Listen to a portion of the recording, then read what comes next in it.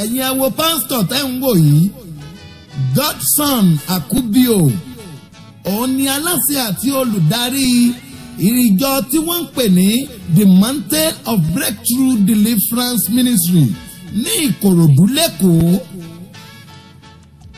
Ẹ máa wọ ẹni tó pèrè ẹ̀ níran sí ọlọ́run o. Ọwọ́ pálábá rẹ̀ ló ségi ẹ̀ ráwọn fake money ẹ wo fake money. Ìránṣẹ́ ọlọ́run tó ń ṣe fake money.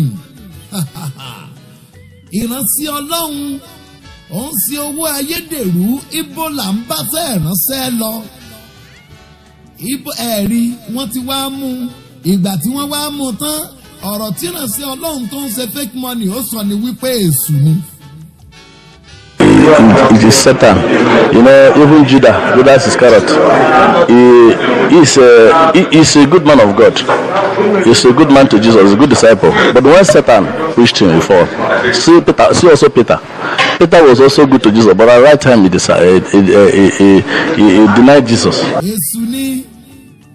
Ni kódà wọ́n mú wọ́n tún mú kan lára àwọn boyfriend ọmọ rẹ̀ nítorí pé òun náà bá wọn gbà lára owó yìí lọ́wọ́ ọmọ rẹ̀. Ìgbà tí ó na wọ́n gbà mú fẹ́ẹ̀kì ló ń ná. Ẹ wò wọ́n nítorí ọlọ́run. bíbélì ti parí ọ̀rọ̀. Ó ní ìfẹ́ owó ní gbòǹgbò búburú gbogbo.